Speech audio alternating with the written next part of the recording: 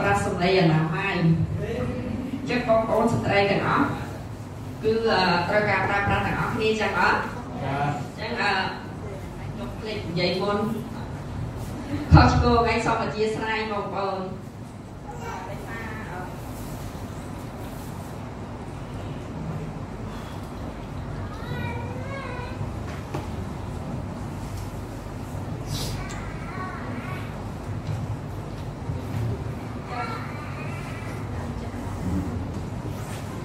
ហ្នឹងហើយអឺដោយសារ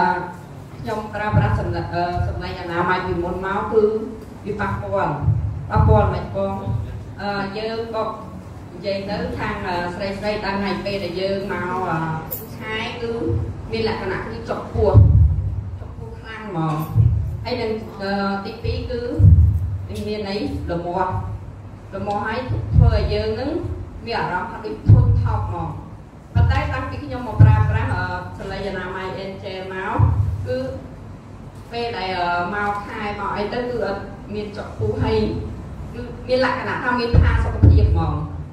ហើយធ្វើឲ្យអារម្មណ៍ស្រស់ថ្លាហើយនឹងគឺរកវាថាយើងធ្លាប់រមាស់ធ្លាប់ចុកពោះធ្លាប់ប្របាតនៅក្នុងខ្លួននោះគឺបាត់តាលីងអញ្ចឹងខ្ញុំអត់មានអីច្រើនមានតែប៉ុណ្ណឹងការសុខភាព